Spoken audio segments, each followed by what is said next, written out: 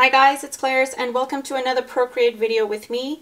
If you are new to my channel, I do watercolor videos and Procreate videos on a weekly basis. Procreate is just for doodling fun.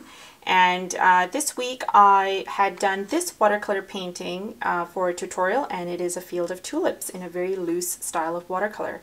So if you guys like such things, please head on over and check this out. And today's Procreate video is going to be on loose tulips.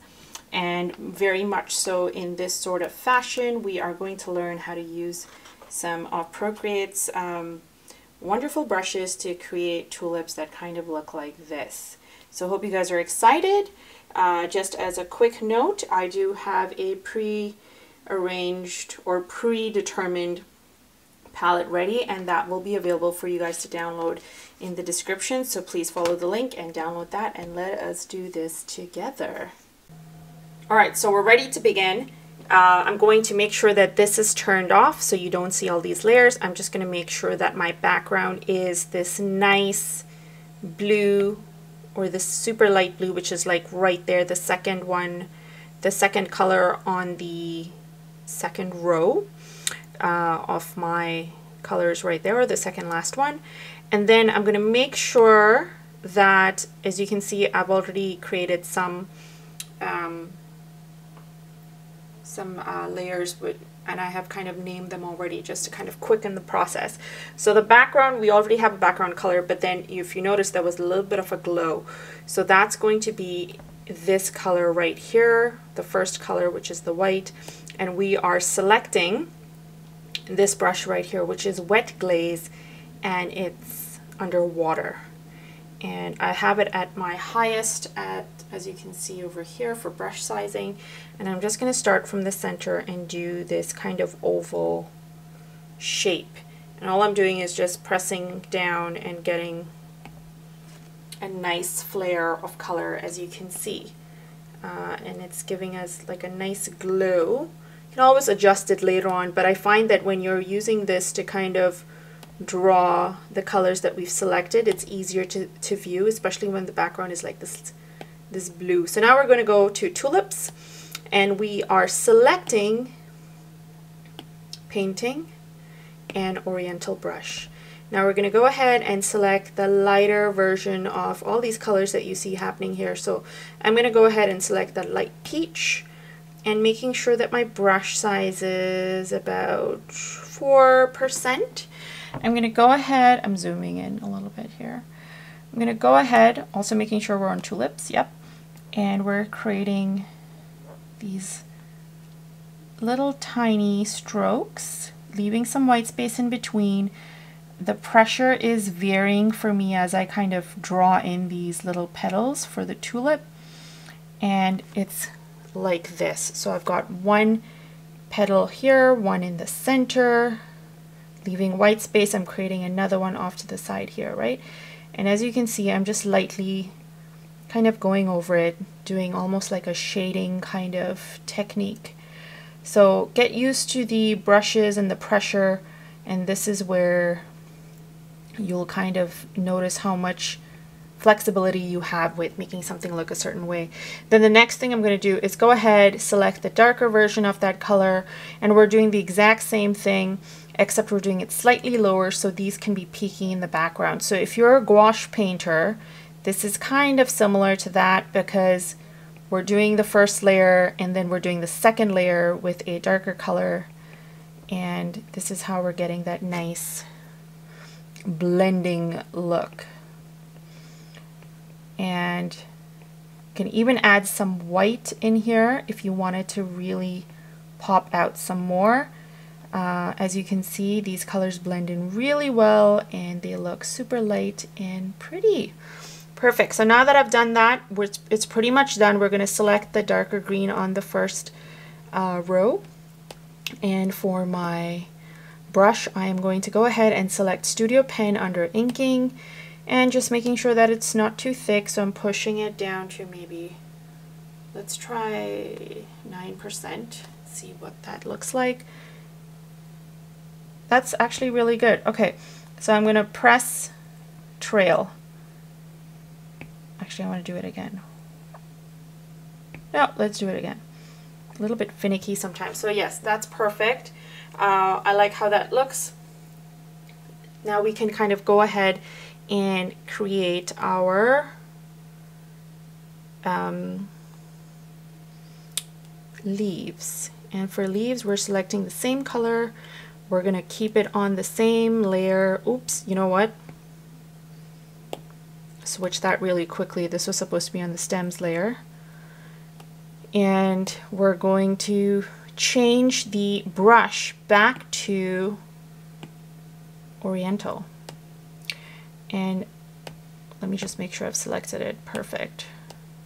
And now once we've done that, let me just zoom in so you can see. I'm going to select an area where I can do the leaf. So I'm pressing down.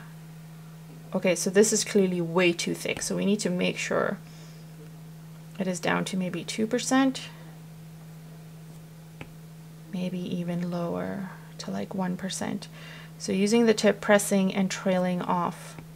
This might take a couple of tries for you to do and get something like that. And then you can just go over the edge there so it is smooth enough. And if you want to make it slightly thicker not quite that way. More like this. And then you have that nice beautiful organic looking leaf that almost looks like it is painted in and let me try this one more time There we go. Whoops. There we go. So I'm quite happy with how this looks. One more thing that I want to add. Going back to my tulips, I'm selecting the white color, which is that background there. And I'm going to go ahead and select, uh, I believe it was under Inking Studio Pen again. Pushing it down fairly low. I'm just going to add a couple of dots and lines in the center here. Just trying to making it peak just above that second layer that we did.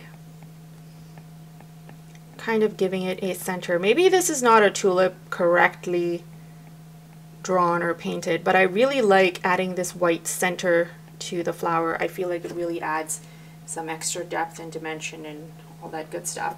I know tulips have a darker color there, but I think this works really well. So now we can do the same thing and kind of create some other colored tulips uh, using some of the other colors that we have going on. So back to our painting and, sorry, artistic, no, it's painting. See, I always get this mixed up. Oriental brush, again, and making sure we're on tulips, we're selecting the lighter pink this time and let's just see this. Okay, so this one's facing this way. Let's have one facing over on this end.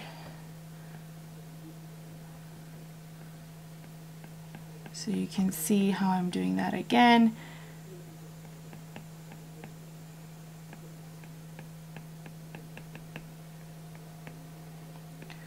So this is the lighter color. Now we're going for the darker color. I'm going to increase the size ever so slightly.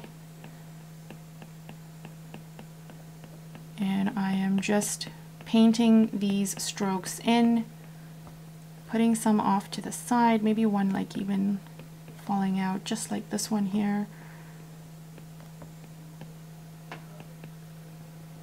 Maybe even closing up like the front instead of making it look like there's several petals.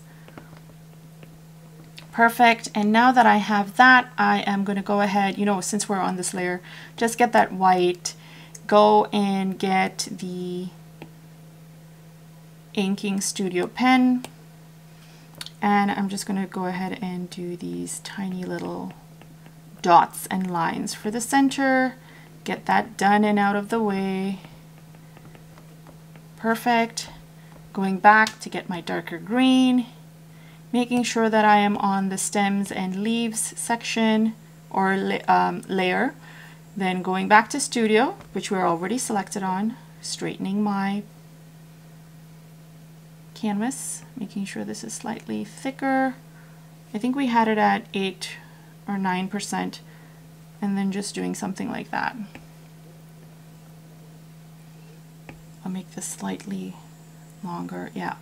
And then now we need to do the leaves, and the leaves were pretty much the same brush that we used for the flowers, which is Oriental. We're selecting the same green, just switching, no, we're keeping on the same layer as well, just switching the size to, what was it? I think it was 1%.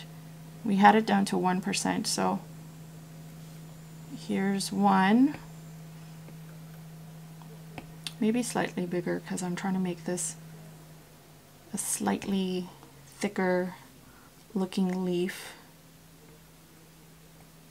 Perfect. See, I love how that transitions. It just looks so pretty with the little white that you can, it's just part of the brush effect really.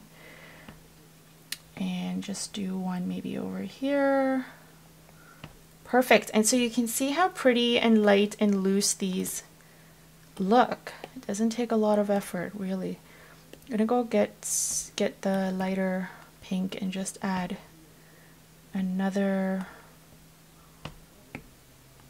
petal here. Perfect.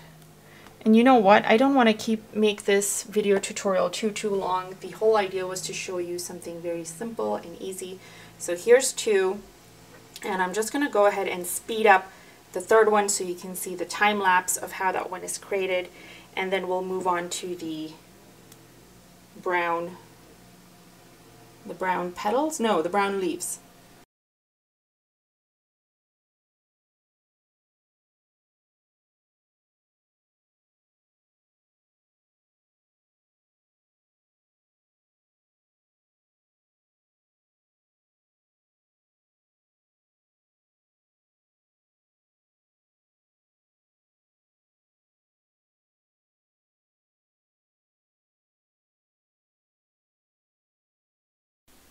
All right, so here's what that looks like.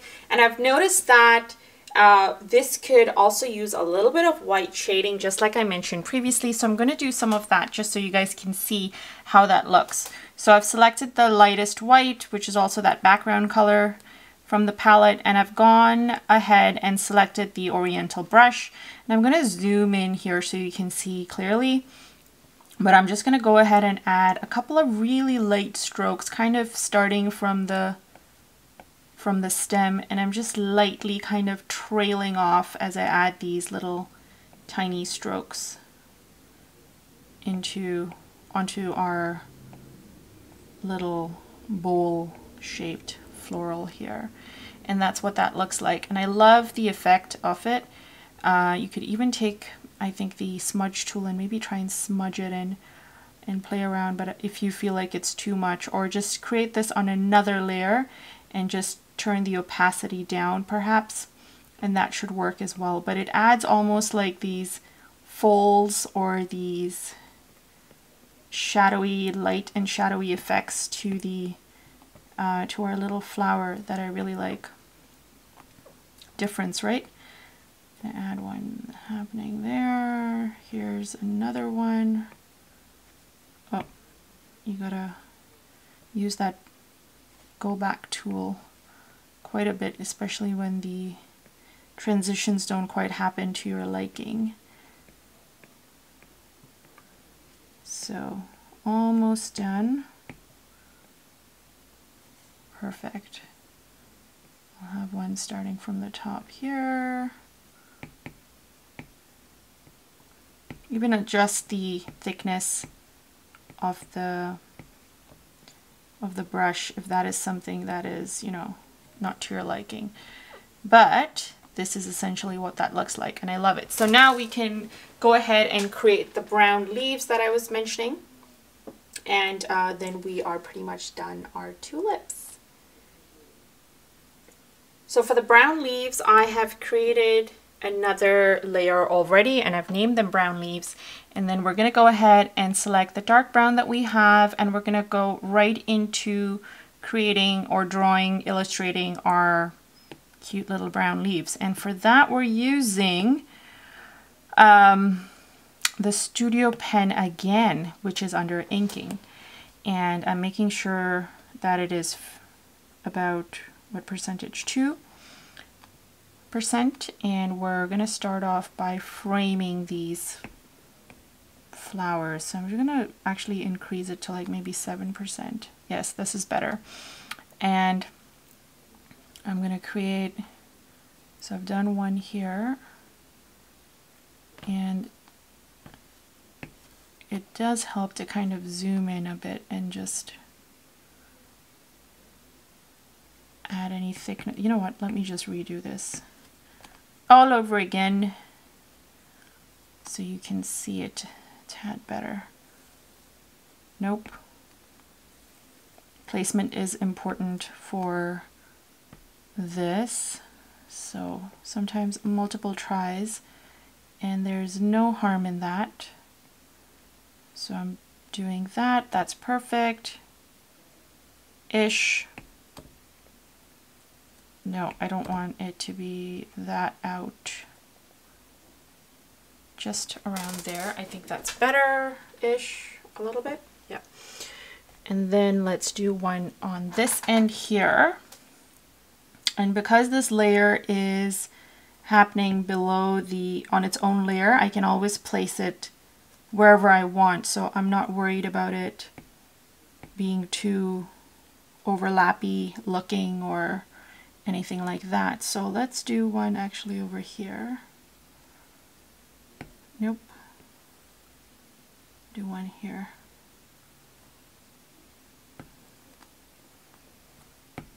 And sometimes it takes, most times it takes a couple of tries to kind of get the shapes that you want and that's okay. Just try, keep trying, continue. That's how you get better. Just don't give up. All right, so I have my placement. Now we're just gonna go in and create my leaves. So for the leaves, I'm just doing these simple oval shapes elongated oval shapes, that is. Trying to have a variety of different sizes and creating a couple of extra stems as we kind of go along as well.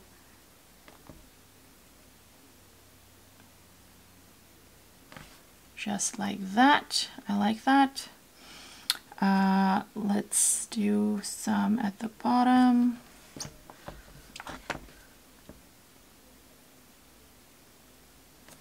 over here.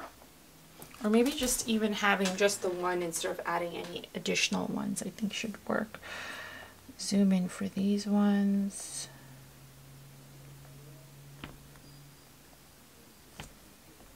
Perfect. And then because these are kind of fairly large, I'm going to make sure that this one's kind of large as well so it doesn't look stick out like a sore thumb. But these are kind of fun to do, I think. Let's just make that one large. Yeah. And you know what? Could even do one that way. Actually, no. Take it away. Take it away because we've got this one here. All right, and now comes the fun and easy part of it all, which is filling these in. so I'm just going to zoom in, click the brown, drag it in here, and it's as simple as that, guys. Like, it's so easy to do and fill in.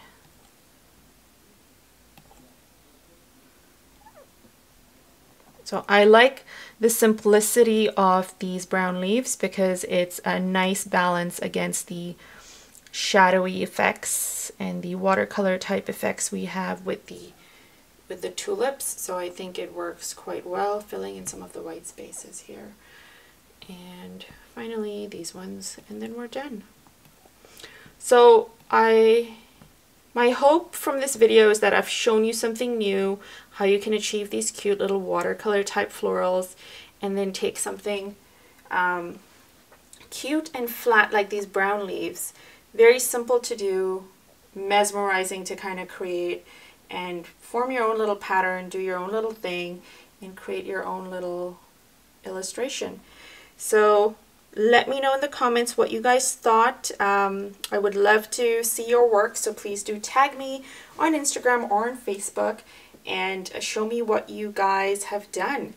Uh, maybe a wreath possibly, a card, you can even add some lettering at the bottom Uh, there's so many things you can do with these uh, with these kind of illustrations once you learn the technique.